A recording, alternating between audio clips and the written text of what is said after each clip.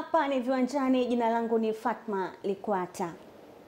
Kocha wa timu ya wanawake ya Yanga Yanga Princess Edna Lema amewataka wachezaji kutumia kipindi hiki kujitathmini na kukuza viwango vyao, huku akieleza anavyotumia mapumziko haya ya ligi kuimarisha utendaji wake wa kazi. Nasibu Mkomwa anatusimulia zaidi.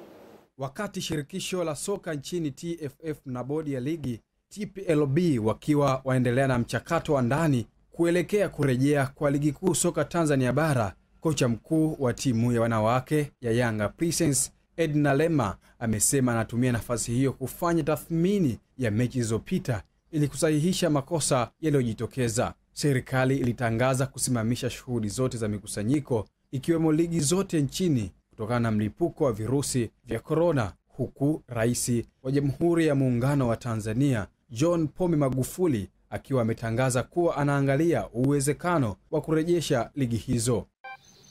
Aa, kitu kikubwa ambacho nimekuwa nikifanya kipindi hiki cha mapumziko kwa sababu ya korona, nimekuwa kwanza, nimekuwa nikifuatilia mechi ambazo tulishawahi kucheza, kuangalia matokeo, kuangalia mapungufu ambayo yalijitokeza, na jinsi gani ambavyo tulipoteza mechi, kwa sababu inanisaidia mimi kujua ni wapi tulikuwa tuna mapungufu, yani hivyo, na sometime na napita kwenye mitandao nasoma baadhi ya vitu na najiongezea, kwa sababu unavyopitia mechi, unavyopitia vitu kwenye mitandao, ni jinsi gani na kuongezea ujuzi kwenye, kwenye kazi yako ambayo unaifanya. Edna Lema ambaye pia ni kocha msaidizi wa timu ya taifa ya wanawake Twiga Stars hakusita kutoa wito kwa wachezaji wa kike nchini. Na mtu mwingine ah, kabla ligi haijasimama, kuna mechi ambazo alicheza, pengine alicheza vizuri au hakucheza kwenye kiwango chake. Kwa hiyo sasa hivi ndio kipindi chake cha kujiuliza, kwa maana kufanya mazoezi, na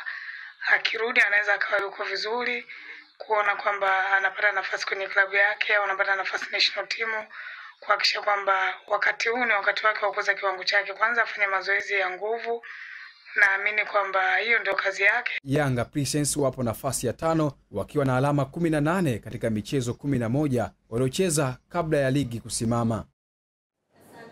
Mkwama kwa taarifa hiyo. Sasa twende moja kwa moja viwanjani kimataifa, ambapo shirikisho la soka nchini Mauritania limetoa kiasi cha dola milioni tatu kwa taasisi zake mbalimbali. Taarifa zaidi huyu hapa Mastatindwa. Shirikisho la soka nchini Mauritania limetoa kiasi cha dola milioni tatu kama msaada wa jamii ya mpira wa nchi hiyo. Vilabu 14 vya ligi hiyo kila mmoja vitapata dola za Kimarekani elfu sitini na sita mia moja na ishirini. Wachezaji 30 waliosajiliwa kwa kila kilabu watapata dola elfu moja mia tatu na ishirini na mbili. Kila kocha wa vilabu hivyo 14 atapata dola elfu mbili mia nne na sitini na tatu huku kiasi cha dola laki tano ishirini na tisa na arobaini kitakabidhiwa kwa ajili ya vyama vya mikoa pamoja na waamuzi. Hayo ndiyo ambayo tulikuwa nayo katika viwanjani kwa siku hii ya leo. Maisha kabla ya korona yalikuwa mazuri sana. Nimeona kocha msaidizi pale akipeana mikono na eh? ilikuwa kabla hii. naam, kila kitu kabla ya korona mambo yalikuwa mazuri sana, lakini baada ya korona Ah. tumeona athari mbalimbali, sehemu zote kuna athari imeathirika, na hata hiyo ambayo wewe unaizungumzia.